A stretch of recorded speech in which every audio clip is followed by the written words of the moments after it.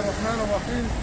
تسلمت مديرية أوقاف الغربية اليوم الخميس 24 من مارس 2022 طن من لحوم صكوك الإطعام لتوزيعها على الفقراء والمساكين من الأسر الأولى بالرعاية.